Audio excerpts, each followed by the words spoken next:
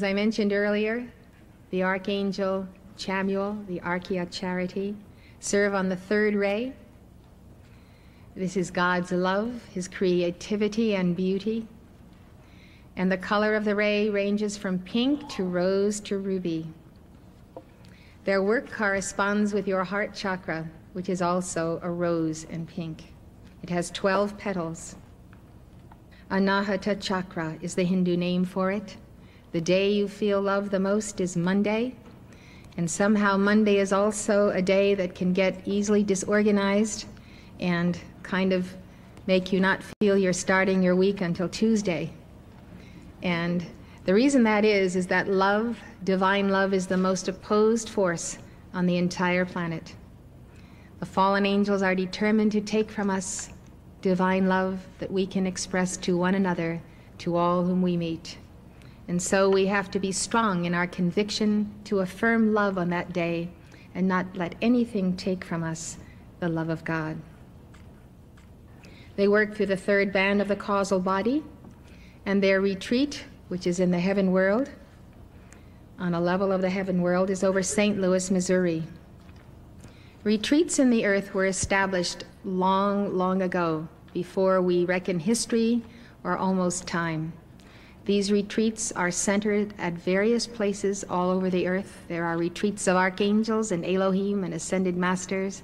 There are universities of the spirit. There are cities of light, golden age cities of light, where we have passed wonderful experiences at the conclusion of one life and before we have entered the next life.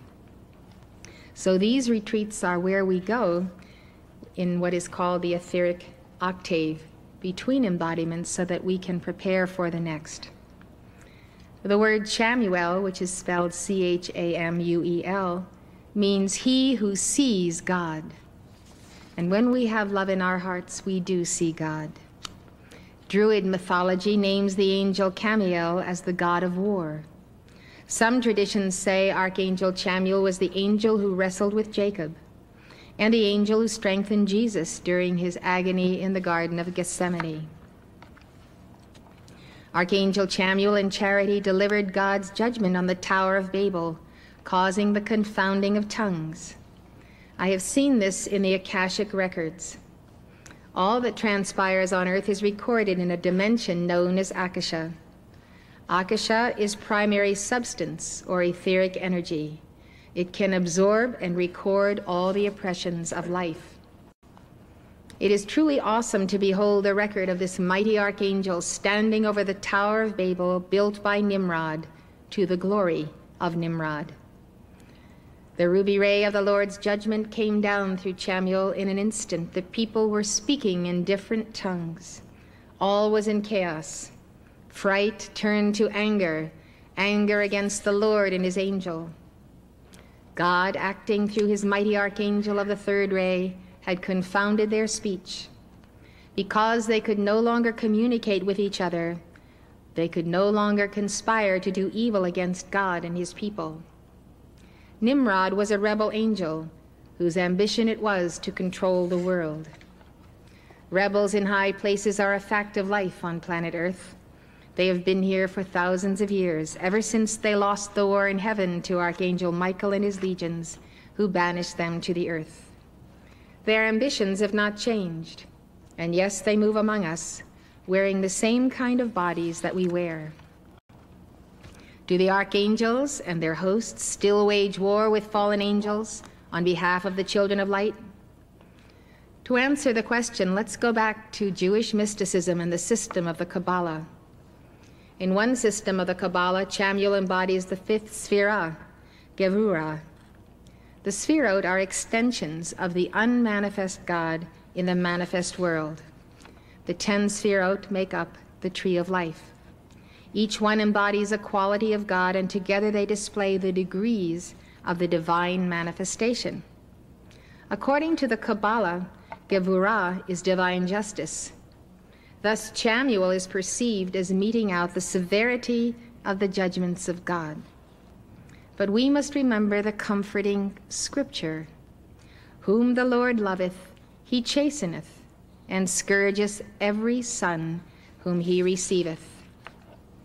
When in divine love the Lord metes out his chastenings, we know that Chamuel is bringing us back to reality, to our real self, stripped of all of our sense of human injustice. The fallen angel who is the impostor of Chamuel is Galeb. The archdevil opposing Chamuel is Asmodeus. So you see in the hierarchy of the fallen angels, they have attempted to create a false hierarchy that opposes each and every angel and archangel who are the servants of the light. And so the war does continue. Galeb is known as the depriver of manhood. This means that he strips the soul of her native endowment of God's light. Asmodeus works with him as the destroyer or exterminator, the perversion of, Gevurah, divine justice. But these impostors of the third ray of divine love are no match for the powerful and imposing forces of Chamuel and Charity and the covering cherubim. One glimpse of these fiery pink, rose, and ruby colored legions as they step out of the sun and into the lower kingdom where the warfare of light and darkness is not yet done with, and you know you are in capable hands. Yes, the archangels and their hosts are still waging war against the rebel angels in the earth and on the lower astral planes, and they are winning. You can join the legions of light as you champion the cause of children, the poor and homeless, and all who suffer under the yoke of personal and planetary karma. I remember how I once witnessed this protection of a divine angel and this opposition of a very dark angel. I had made a trip out to Cape Cod when I was studying in Boston. And I was in a situation where I felt the angel of the Lord protecting me, and I at the same time felt the force of a fallen angel attempting to wrest me from my allegiance to the good angel who stood by. And I awed in the presence of the power of this good angel. And also I observed the determination of the dark angel to tear me from what was the right and true and correct path. When you feel that power and presence of an angel defending you, and you feel the adversary tempting you away from the good angel, then you will understand that the reason we do get into trouble is that we go the way of the bad angel, the rebel angel. We make a conscious decision to reject the protection of the angel of light, and therefore the angel of light withdraws and leaves us to make our karma as we will. So, this is why we do not all escape from the calamities of life or the wrong turns in the road. It is because ultimately the angels respect our free will. And so, before you make a decision to go to the right or the left, or to make major consequences, major turns in your life, it is very important to commune with God to listen to the inner voice, and to have such a close presence at the altar of God that you can have the gift of the discernment of spirits that comes from the Holy Spirit, and with that discernment, truly know right from wrong. I was talking to someone that I hadn't talked to since high school. And what he said to me, we're all being tested, aren't we? And I said, We surely are all being tested. And as the tests advance in this schoolroom of life, sometimes we think it is impossible to know right from wrong, because wrong seems right and right seems wrong in the moment, in the crucible, when all we have to go by is our relative vision. To prepare for those tests and those initiations, which are always the testings of divine love. We need to prepare through daily prayer, a habitual going to the heart of God and communing, keeping in touch with God, keeping in touch with your guardian angel, feeling free to talk with the archangels because you know that each week and in each month, if you have strayed from what you think is the best and right way and right conduct, You have confessed this in your heart to God. You have given prayers, assigned yourself a penance, and told God and your guardian angel, I really want to make this thing right. Let me perform a service or give special prayers or go out and help people in my community because I don't want this to be a blot on my record. If you keep yourself striving to do the best you know how to do, you'll make some mistakes, but you'll learn from them and if you're really determined to get where you're going, you will not repeat them. You can say, okay, I fell in that mud hole, but I'm not going to fall in it again. I see that trap, and I'm not going to fall for it another time.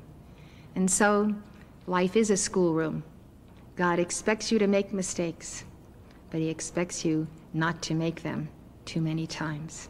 To get out of the rut and move on and exercise that inner willpower, and more than that, prayer to God to strengthen you in the moment when you could again fall into that rut. So be mindful of your words and actions and even your feelings toward others. When the angels see that you are self correcting and trying to do the best you can possibly do by everyone, they will give you such support and help. And what could be pain and sorrow is a joyous challenging day by day of anything that might assail your path. How do Chamuel's legions appear to us? Depending on their assignment, the legions of divine love, who lovingly administer God's justice, may appear in full battle regalia or in ceremonial dress.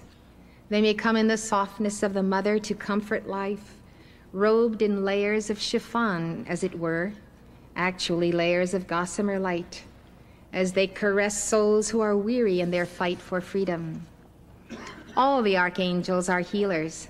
They come as master surgeon to repair bodies and mend the rents in the garments of the soul. There is no field of learning in which they do not excel. With Elohim, who are the co creators of life and form, they also have power to create and uncreate life. In sum, Archangels are extraordinary beings, nothing less than the extensions of God Himself, personified in form as God's grace and majesty and power incarnate. Archangel Chamuel and Charity welcome us to study in their retreat in the heaven world over St. Louis. Our souls can travel there during sleep just before you retire at night, call to Archangel Michael and his legions of angels to escort you to the realms of light to attend classes in the universities of the Spirit. The retreats of the archangels are now open to souls of merit. They have not been open for centuries. These retreats are well above the pollutions of earth on a level of the heaven world called the etheric plane. Although you may not remember what you have studied in one of the archangel's retreats, your soul knows, and little by little, the information trickles down to your mental awareness. In their retreat, Archangel Chamuel and Charity teach you to develop the qualities of mercy and compassion, loving care and concern for others. They teach you to replace all sense of injustice in relationships with supreme trust that there is in reality no injustice anywhere in the universe and the trust in the ultimate resolution of divine love. This will and can happen only if you, in childlike faith, will let go and let God and his emissaries mete out divine justice. Archangel Chamuel and Charity teach you how to intensify the flame of love in your heart and to prepare for the descent of the Holy Spirit into your temple. They promise to heal the many layers of the human aura of anyone who offers devotion and service to them. They say, each time you offer to God decrees to the violet flame and songs of praise and prayers of heartfelt sincerity, the angels may in turn take from your aura and your body some of the burdens that you carry. If you invite us, we will come home with you. We will help you with difficult situations you may be dealing with among the members of your family. We will help you in problem situations with your neighbors, your relatives, and in the workplace. We will address whatever is most burdensome to your heart. We will even help you to find a job or a parking place. We will do anything you ask as long as it is lawful for us to do in the sight of God. Notice that Chamuel and Charity prefaced their promise with a condition if you invite us. They said, If you invite us, we will come home with you. Archangel Chamuel teaches that the angels are polite and reverent. He says, We respect God's laws of freedom that guarantees you free will in all matters. Thus, when you call not, when you invoke not, the angels enter not, even in time of calamity or cataclysm or personal crisis. God has set his law in motion, and you who abide in this which has been called the footstool kingdom must understand that earth is the footstool of God and of heaven. On earth, you are in control. But if you will it so, if you are willing to set your human will aside, then God in you can be in control. God in you can be in control. But then you must pray as the Savior did in purest love Not my will, but thine be done. And when you do, beloved, the will of God takes command of your life, and angels unseen implement that will step by step as you cooperate with it day by day. This statement notwithstanding, many of you here have, in, have experienced the intercession of angels in your life. This has come to you because A, you have had an ongoing relationship with God and his angels in this and past lives, even though outwardly you may not be aware of it. There's more to you than just your outer mind. Or B, from the level of the subconscious mind, your very soul is crying out to God, imploring his assistance.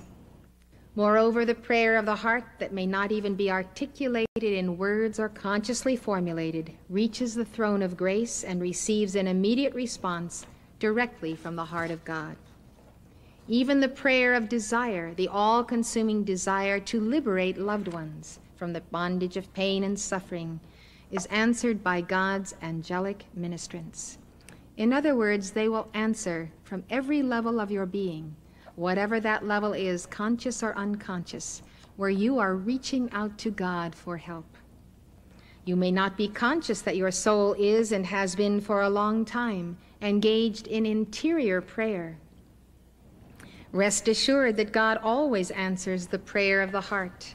In addition, he answers by way of sending his ministering angels to be your guides, guardians, and friends.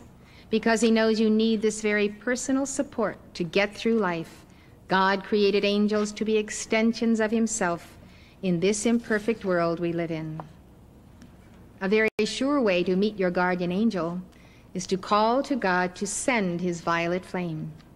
When your aura is filled with violet light, not one but many guardian angels will come to you. I would like to show you how to call forth the violet flame and keep your aura as it looks in the lower figure in the chart. This decree is called I am the violet flame, and when you use the name of God I am, you are saying, God in me is the violet flame. You're using the name of God, which God gave to Moses for us. So when you say, I am the violet flame in action in me now, and so forth, you are affirming, where I am, there God is. I visualize his violet flame around me now. I see the purity of my chakras. I see that crystal core descending from my Christ self and I am presence. I am accepting that my I am presence is releasing the violet flame in answer to my call, and this violet flame is specifically used for purification. The violet ray is a ray of purification and it purifies your aura. When you're among a lot of people downtown and shopping, in throngs of people anywhere, you take on in your aura a lot of substance from other people, good and bad. And so sometimes when you get home, you feel drained or tired. You call for the violet flame to transmute and restore your aura. The violet flame can erase records of karma of past lives. It is the great gift to us of Saint Germain. Together, I am the violet flame in action in me now. I am the violet flame. To light alone I bow. I am the violet flame in mighty cosmic power. I am the light of God, shining every hour. I am the violet flame, blazing like a sun. I am God's sacred power, freeing every one. I am the violet flame in action in me now. I am the violet flame, to light alone I bow. I am the violet flame in mighty cosmic power. I am the light of God, shining every hour. I am the violet flame, blazing like a sun. I am God's sacred power, freeing every one. I am the violet flame in action in me now. I am the violet flame, to light alone I bow. I am the violet flame in mighty cosmic power. I am the light of God, shining every hour. I am the violet flame, blazing like a sun. I am God's sacred power, freeing every one. Archangel Chamuel in charity invite you to pray to them daily to protect your physical heart, your heart chakra, and your threefold flame.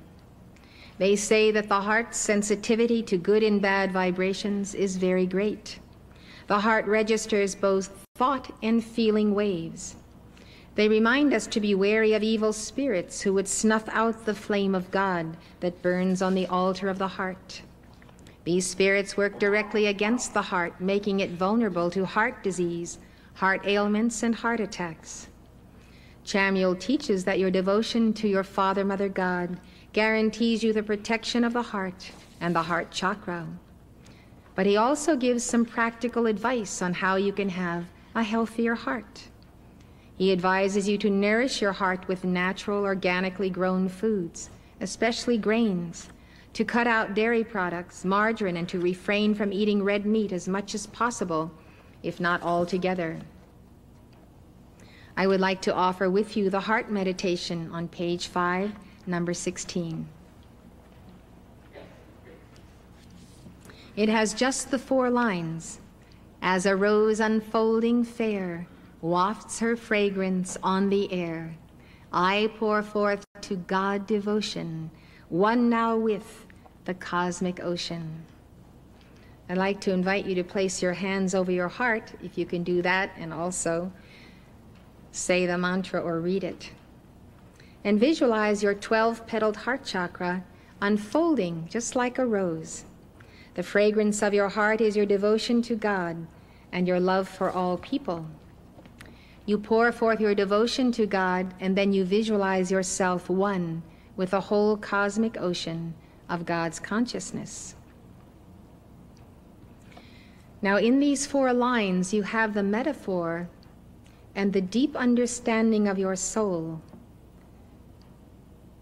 that your heart is a rose that is unfolding.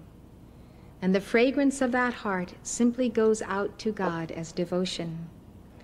So we pour forth to God devotion, and as we pour it forth, because this devotion is ours and we are giving it to God, we can move with that devotion because we are a part of it. So our own devotion and ourselves one with that devotion now allows us to be one with the cosmic ocean of God's consciousness. This is a very profound little mantra. If it has meaning for you, take it up each day it is one of those mantras of divine love that guards us against the sharp word, something unkind, something thoughtless, something that hurts someone. When we have a momentum of the mantras of love in our heart, then we are in control and we do not let out these things that cause burdens to people. So the love mantras are very important. Let us give this together. As a rose unfolding fair wafts her fragrance on the air, I pour forth to God devotion, one now with the cosmic ocean. As a rose unfolding fair wafts her fragrance on the air, I pour forth to God devotion, one now with the cosmic ocean as a rose unfolding fair wafts her fragrance on the air. I pour forth to God devotion, one now with the cosmic ocean. You will find in our angel booklets and in our other published tapes of mantras and decrees and songs that some of them you like better than others, some of them you like to give more often. There's a mantra for everyone and any number of mantras for all of us. Pick your mantra and let it be something profoundly meaningful to you that each time you say the words, you can feel the words happening and more than the words because somewhere inside of you there is a resonance with that particular mantra or decree. And so through it, it's like a grid of energy. Through it, your heart's devotion is magnified. God magnifies it again and sends it back to you. So, devotion, in whatever way is your way, is the way that we keep angels with us. Because devotion opens the channels. Our devotion goes to God and the angels, and therefore we've opened a highway to our God. And the angels travel down that highway back to our hearts. You can give this prayer as a mantra many times a day as a means of sustaining your tie to God. As you meditate on the God of love, pronouncing these four lines, you can actually go into a spiritual ecstasy that comes from the releasing of the love in your heart, and it increases and increases.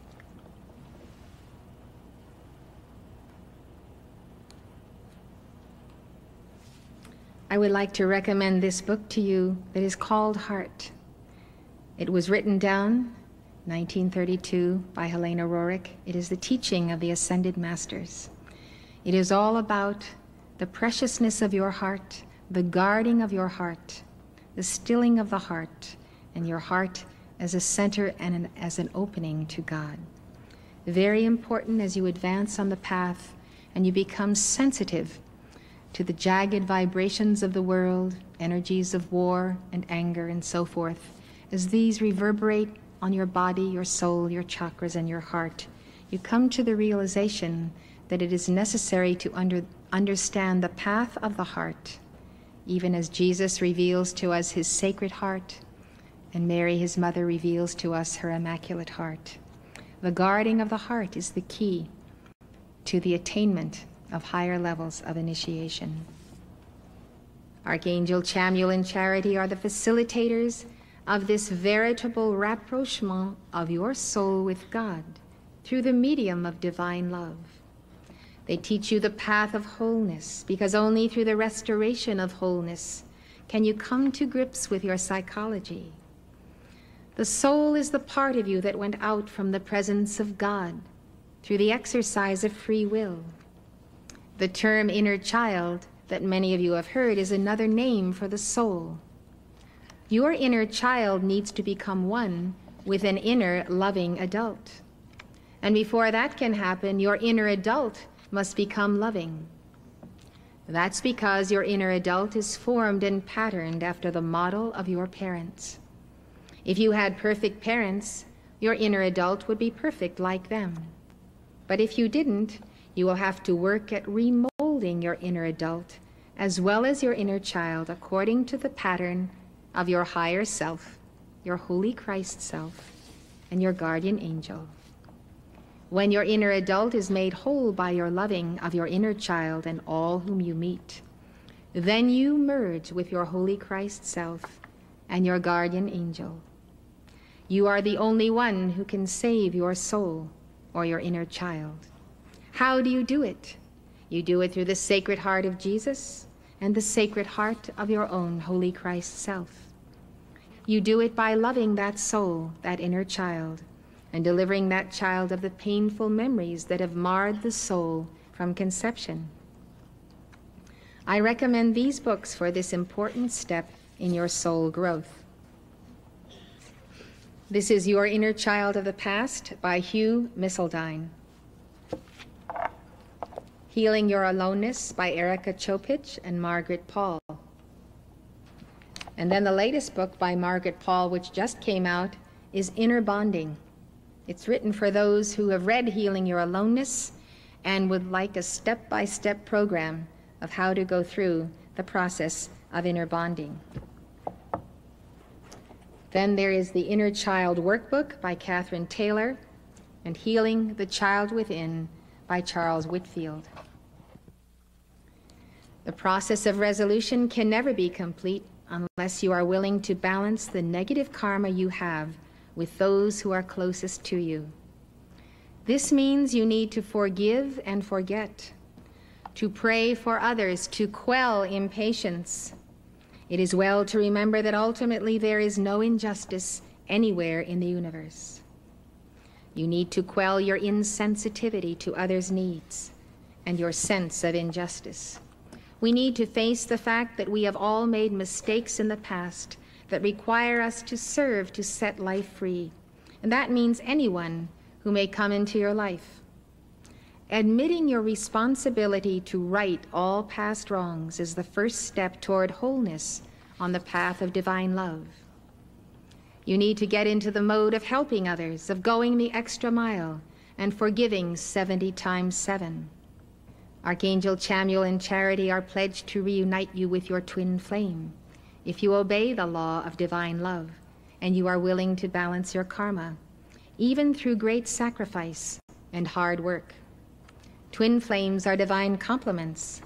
God created you with another half. There was a white fire body of light, a sphere of wholeness.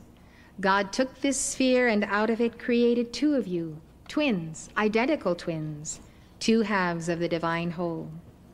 While you lived in the levels of perfection, you were always one. When you left the presence of God, sometime somewhere along the way, you started making karma with other people, started getting into other relationships, started quarreling with your twin flame, and became separated for long centuries. You grew farther and farther apart Sometimes now you don't encounter your twin flame for many lifetimes. You feel alone without your other half, and the sense of aloneness can be all consuming. The book Healing Your Aloneness teaches you how to go about restoring your inner wholeness through communication with your inner child and inner adult. Wholeness is a state of being one with God and in harmony with the various compartments of your own self. By engaging in the process of working on yourself daily, you free up your creative energies so that you can attract your twin flame. Unless you establish a direction of wholeness in your life and make inner and outer wholeness a daily priority, you run the risk of your twin flame not recognizing you or you not recognizing your twin flame. Wholeness means striving to be who you were in the beginning with your twin flame so you can be together in the reality, not the illusion, of your true self today. Chamuel and Charity teach us the way to unite with our twin flame. It's first to unite with your own God presence. In that pole star of being, they say, in that magnet of sacred fire, you shall become a blazing sun to draw unto yourself your twin flame. They say that the way to union with your twin flame is to get busy and do the job that you know very well God has assigned you to do, even if you don't want to. Just do it with a joyous heart, because it happens to be your karma. Be joyous that you have the opportunity to balance karma every day.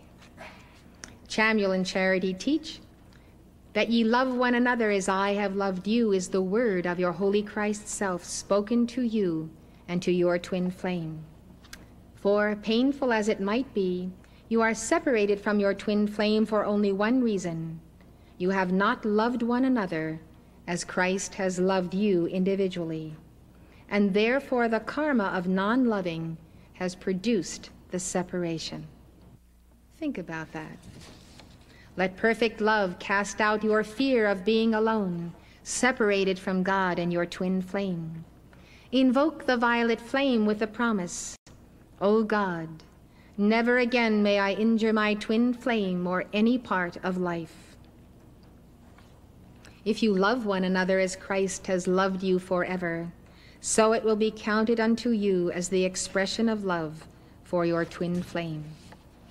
In other words, whoever you are with, in whatever relationship, family, friends, relatives, neighbors, whoever you meet in the workplace, when you give to everyone the love that you would give to your twin flame, that love does go to your twin flame and is counted toward the restoration.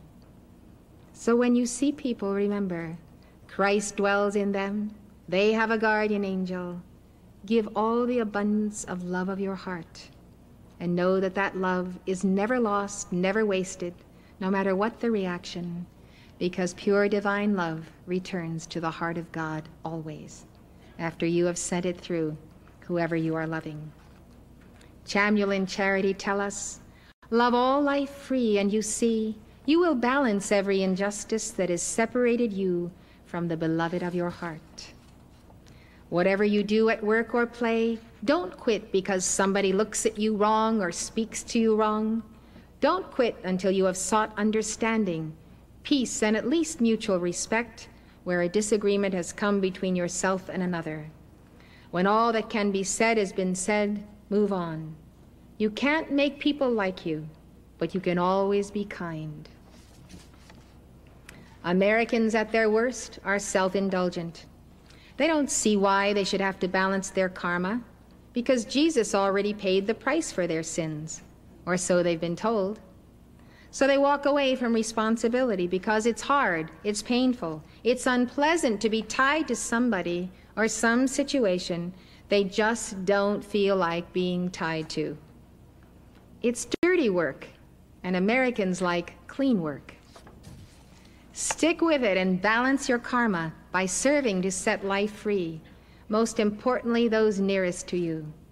Give your decrees to the violet flame with all due diligence and dedication. And by and by, you will balance that karma. And you will never have to deal with that situation or that person again. That is, unless you make more negative karma with that person, or unless things have so improved because you have balanced the karma involved and worked on your psychology that you can now see the worth of the relationship. Yes, it's important that you accept your assignments from God to balance your karma. It's also important that you don't develop a false sense of responsibility and stay too long in a situation when you have A, balanced your karma, and B, transcended the association. So these are some tips on how you can balance the karma that separates you from your twin flame. Let's say you're sitting next to your twin flame right now. This happened in a conference once. Two people who'd never met each other sat down in the, in the front row, and they happened to be twin flames. And I was watching in the whole conference to see when they were going to figure this out. well, they did figure it out. And they got married and lived happily ever after. so, your karma, whether it's with your twin flame or anybody else, may very well snatch from you the relationship you've been waiting for all of your life and perhaps for lifetimes. Your karma may also deprive you of a greater intimacy with your chief guardian angel. Yes, karma can rob you of deep and satisfying relationships at all levels. And so, until you have balanced 100% of your karma, any karma you have left is a possible point of separation and division between you and your God and you and your twin flame. Although many twin flames are separated in physical dimensions, their souls work together in the heaven world, in the retreats of the archangels and the universities of the Spirit. The Archeia Charity is the twin flame of Archangel Chamuel. She has worked for centuries to help Earth's children balance their karma through service to life. She tutored the ascended Lady Master Nada, a very great spiritual being, in her final embodiment on Earth. Nada was the youngest child in a large, exceptionally gifted family. The Archeia Charity appeared to her at a young age and taught her how to draw God's love from her heart and radiate it into the nature kingdom for the blessing of life. Charity taught Nada to expand her threefold flame so that she might be instrumental in the quickening of her brothers and sisters' chakras. Nada supported her siblings while they achieved standing in their respective professions. Her inner spiritual work was to tend the flame on the altar of their hearts, while they used their energies and talents to make major contributions to their culture. Nada explains that to all appearances she had not accomplished much in a worldly sense. Yet her joy and eternal reward came in nourishing the hearts of her family that they might succeed, and in knowing that her service had been essential to their victory. Indeed, Nada made her ascension at the conclusion of that lifetime of surrender to love and selflessness in service, as she sacrificed what might have been a brilliant career of her own. This is an artist's conception of Nada as an ascended Lady Master. It captures the fire of her aura and presence. You can use it to meditate on her great mastery of the living flame of love. Nada serves on the karmic board of seven ascended or cosmic beings who adjudicate the karma of Earth and her evolutions. Some of you have read books about people who were regressed and remember experiences they had before they were born. They remember being counseled by a group of spiritual advisors regarding what they would have to deal with in their next life. What they are remembering is their interaction with the Lords of Karma, who make up the seven member karmic board. When you are born, you come with a package of your good karma and a package of your not so good karma. The first karma you meet in life is your parents. And usually your heaviest karma is with your parents. Or it may be with your brothers and sisters, extended relations, your marriage partners or partner, your children, your employers or employees, or all of the above.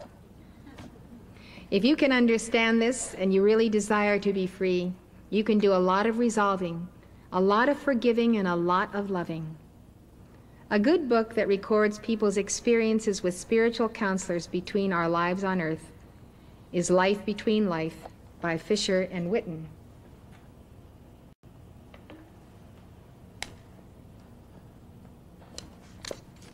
This is a very remarkable book.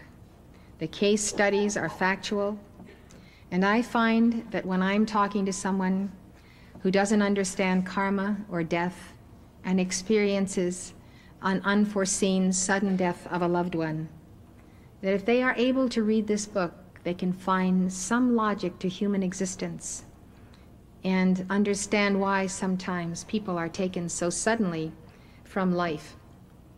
So if you read this and have a copy of it and several copies, you have it there. And you can send more than a card of condolences. You can send something that people can lock into that will give them hope and vision and comfort.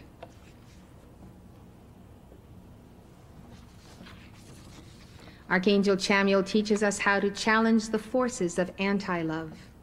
He has given us a mantra that will definitely do the trick.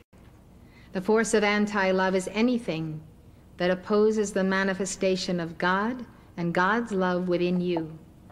It is any little irritation, any anger, any argument, any crosswords, any passivity that prevents you from getting a job done.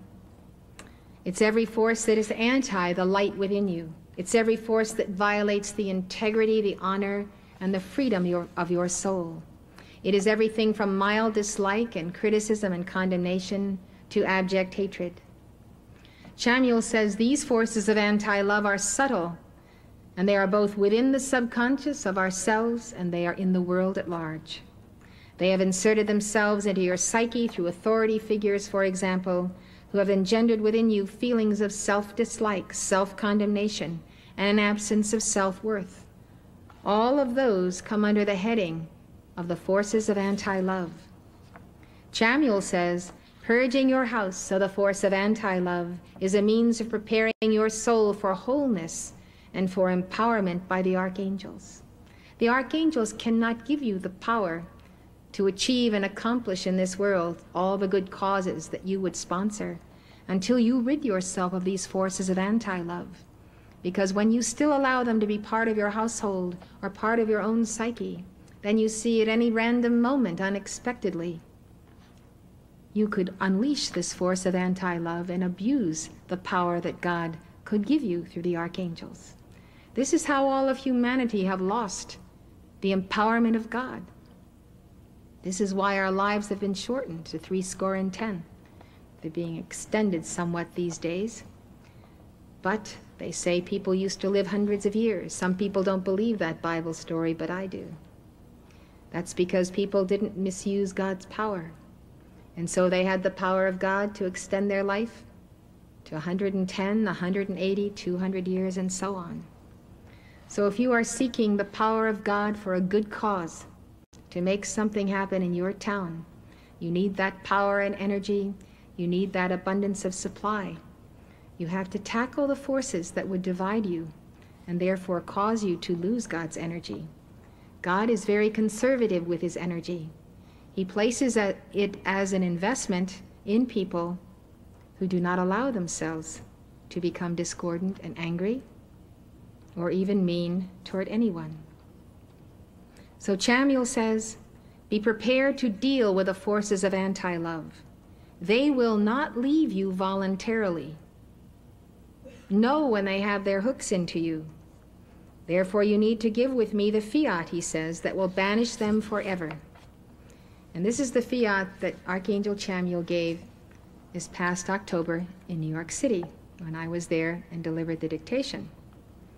He says, Each time you give this fiat, you must call to me to give it with you. And this is what you say In the name of God, I am that I am. In the name Archangel Chamuel, be gone, forces of anti love.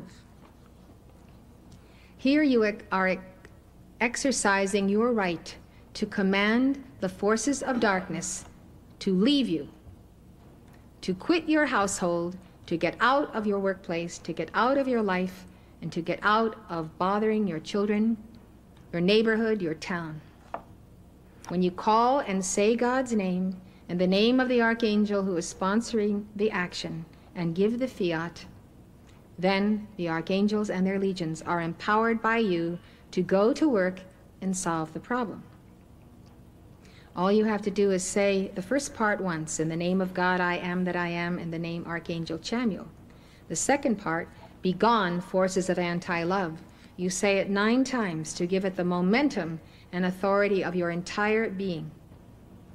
Now, I would like you to think of a situation that you know about at home, in school, at work, in the politics of the city.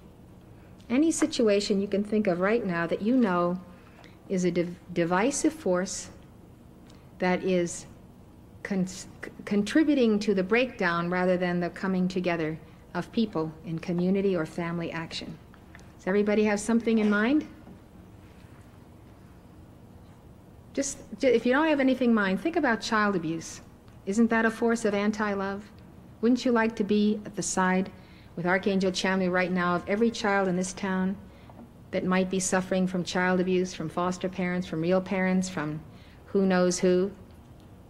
Wouldn't you like to be able to know that you did something for that child? Well, you can. Now, can you assemble everything you can think of right now of the trouble spots in the world? Where there is the force of anti love. Remember, see it happening. It's very important when you give prayers. Together? In the name of God, I am that I am. In the name, Archangel Chamuel. Be gone, forces of anti love. Be gone, forces of anti love. Be gone, forces of anti love. Be gone, forces of anti love. Be gone, forces of anti love. Be gone, forces of anti-love. Be gone, forces of anti-love. Be gone, forces of anti-love. Be gone, forces of anti-love. Thank you. Please be seated. Archangel Chamuel is emphatic. He says the seven archangels and their hosts have the solutions to even the most serious problems of our cities and nation, such as organized crime, drugs, illiteracy, gangs, the national debt, and AIDS. They are on top of the elements of your psychology, and they can show you how to get on top of them yourself. He promises, Scout's honor, that if you keep the vigil with the archangels, the solutions to all your problems will be found. Chamuel says, Why not commit a minimum of 15 minutes a day without fail to giving one or more of your favorite prayers from the angel booklet, just to maintain your ties to us, so that waking or sleeping you will receive the light we pass through your chakras that brings resolution day by day. Archeia Charity promises that two angels of her bands will stand by you until the hour of your ascension, as long as you walk the path of divine love. These angels are understudies of the cherubim. They will serve as guardians to protect you against malice, slander, and all misunderstandings directed against you. Their joy and their reason for being is to adore the threefold flame that burns in your heart. Charity says your devotion to these angels will increase the aura of pink light surrounding your heart chakra. I would like to now acquaint you with the holy office of the covering cherubim. Cherubim is the Hebrew plural of cherub. The word cherubim comes from the Akkadian word meaning one who prays, or one who intercedes, or from the Assyrian word which means to be near. Thus, cherub means near ones, personal servants, bodyguards, or courtiers. In rabbinic and occult lore, cherubim are the throne bearers and charioteers of God as they personify the winds. Their role is to guard the holiness of God. Kabbalists associated the cherubim with Yesod, the ninth sephira on the tree of life. According to the Kabbalah, Yesod is the foundation. It represents the procreative life force of the universe. In Christianity, the cherubim are among the highest orders of angels. The cherubim are the first angels to be mentioned in the Old Testament. Genesis says that after the Lord God expelled Adam and Eve from paradise, he placed at the east of the Garden of Eden cherubims and a flaming sword which turned every way to keep the way of the tree of life. In the Old Testament, the cherubim bear God's throne in the Holy of Holies, which is the innermost sanctuary of the temple. The Bible describes the Lord as dwelling between the cherubim. The Lord instructed Moses that in building the tabernacle he should place a gold cherub on each side of the mercy seat which is the lid of the ark of the covenant. The Lord said to Moses, The cherubims shall stretch forth their wings on high, covering the mercy seat with their wings, and their faces shall look one to another. And thou shalt put the mercy seat above upon the ark, and in the ark thou shalt put the testimony that I shall give thee. And there I will meet with thee from above the mercy seat, from between the two cherubims which are upon the ark of the testimony. I will speak with thee of all things which I will give thee in commandment unto the children of Israel. One commentator writes, According to the old rabbis, the name of the one cherub on the mercy seat was righteousness, and the name of the other was mercy. But some ancient interpreters have said that while usually their faces were half turned away from each other, yet when peace and righteousness ruled among the people, they turned toward each other and, bending forward, kissed each other. In Solomon's temple in Jerusalem, the walls were covered with carvings of cherubim. The book of Ezekiel records Ezekiel's vision of four cherubim. He writes, And I looked, and behold, a whirlwind came out of the north, a great cloud, and a fire enfolding itself, and brightness was about it and out of the midst thereof the color of amber out of the midst of the fire. Also out of the midst thereof came the likeness of four living creatures, and this was their appearance. They had the likeness of a man. Ezekiel described each cherub as having four faces, four wings, and hooves like those of a calf. He said, As for the likeness of the living creatures, their appearance was like burning coals of fire, and like the appearance of lamps. It went up and down among the living creatures, and the fire was bright, and out of the fire went forth lightning. In Islam, the cherubim continually praise God by chanting, Glory to Allah. They are said to dwell in a place where the devil cannot attack them. Up until the 11th century, cherubim were depicted with mature faces framed by two to six large wings. This image was meant to convey the pure spirit, intelligence, and swiftness of the cherubim. In later religious art, the cherubim were standardly depicted with plump infant heads and curly hair, framed by a cluster of small wings. Thus was lost the original understanding of cherubim as the powerful fiery guardians of the covenants of God made with his people through Moses.